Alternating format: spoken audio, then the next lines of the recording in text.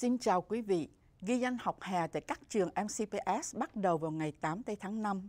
Học sinh lớp 8 MCPS được mời tham gia các trại hè sẵn sàng cho sự nghiệp trung học vào mùa hè này. Các em sẽ có cơ hội tìm hiểu về các nghề nghiệp với các học viện và các chương trình trung học MCPS.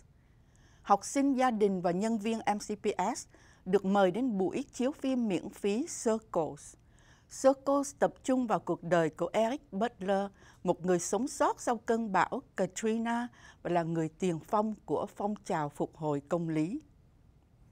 Văn phòng giải trí và công viên quận Montgomery có hàng trăm chương trình và lớp học thú vị vào mùa hè này. Ghi danh bắt đầu vào ngày 13 tây tháng 5.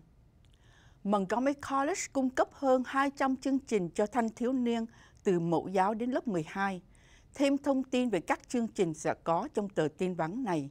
Xin quý vị đón xem.